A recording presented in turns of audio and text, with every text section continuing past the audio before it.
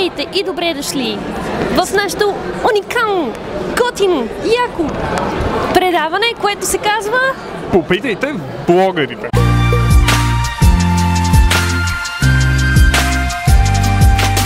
Днес ще отговорим на въпросът на Момчил Бонев, който мисли, че ми е писал във Фейсбук, но не съм много сигурен. Така, въпросът му е следния и той е доста сериозен. Да, да, да, да. Имам проблем с един съученик, който ме дразни. Когато има скандал, тези, които ме успокояват после, като кажа на класната и обясняват, че само се правя на жертва, без да знаят какво се е случило наистина. Какво да правя? Да им се доверявам ли, когато имам сериозен случай и мога ли да ги нарека приятели в кавички? Значи реално ти имаш проблем с определена личност и твоите приятели не те защитават, докато когато Не. имаш този проблем. Той има проблеми с определена личност и след като той, предполагам, се разстрои, неговите приятели го успокояват, той така каза. Да. Но после, когато той се оплаче на класната си, същите тези приятели казват, абе не, той само се прави на жертва. Аха, това ми напомня нещо библейско. Кое? Ими, дето се отричат, е, Да, отричат се от тебе. отричат се от Преди три пъти петли да пропеят. Трите петли да побеят. Да не ми да се казват Петър. Да. На страна от библейските сюжети, да. смятам, че може би приятелите ти имат различно виждане от тебе върху това, което се случи. Ти какво мислиш? Ами, вероятно не искат да правят лошо, просто вероятно не искат да правят лошо впечатление на класната или на учителите. Не знам защо трябва да си променят а, мнението. Според мен те не си променят мнението. Те просто го успокояват, когато той, примерно, е разстроен от това, че се е скарал с онзи човек или са се сбили. То не става ясно.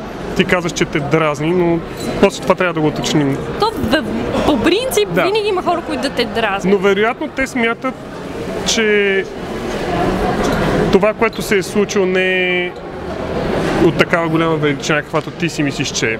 Да, защото ти емоционално подхождаш към въпроса. И когато ти отидеш да се оплачеш на класната, те всъщност смятат, че ти правиш едва не от мухата слон или нещо такова. С което не бих казал, че са ти точно приятели, да, но... Не знам.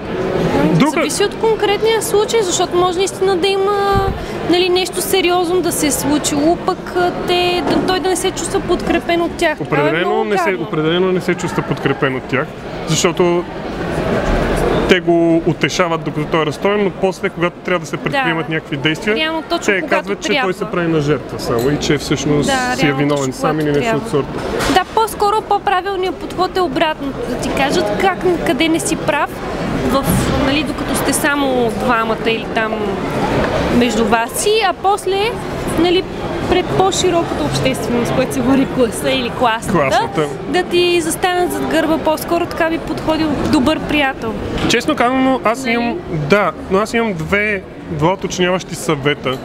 Ако става дума за дразнене, т.е. ако ти просто, ако той примерно ти се подиграва и те харасва така вербално, тогава няма много наистина какво да се направи, освен че ти трябва да станеш малко по-голям непокист и да не ти пука толкова. Да, реално ти Защото- го храниш, когато му даваш отговор. Това нещо, поне докато си в действия. училище, а и честно казвам и, и нататък в живота няма да изчезне.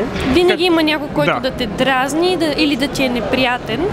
И ако е така, ако всъщност е така, ако става дума за вербално тормозене, не че, не, че е малко, но просто най-вероятно другите, другите ти съученици смятат, че реално няма от какво толкова да се оплакваш. Въпреки, че Да. то не е така, но ако обаче става дума за физическо ки тормоз и действително сте бие, тогава лично моят съвет е да мислиш за своята безопасност и да, да вземеш всичките мерки, които могат да се вземат, включително да Разговори. използваш родителите си, Да. директора, да се преместиш в друго училище и така нататък.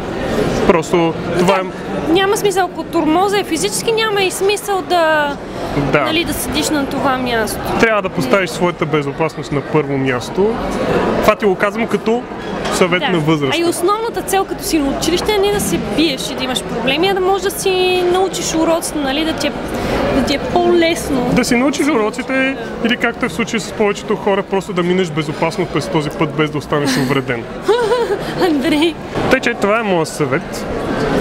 вземи необходимите мерки. Ако турмоз е психически и просто те дразни, а, или трябва да го игнорираш, а, мисля, трябва да се опиташ по някакъв начин да го игнорираш и да, или да го избягваш. Не е задължително дори да говориш с този човек, ако ти е неприятен. Примерно аз така правя. В училище е много трудно да избягваш Да. някой. Там сте като затворени в една клетка и Да. просто трябва да не ти пука толкова да имаш физическа Максимално, да, устойчивост. реално колкото повече ти пука той, как го, го вижда това нещо, ти му даваш почва за развитие. Ако вече тормоза е физически, няма смисъл да, да се задържаш там. Просто.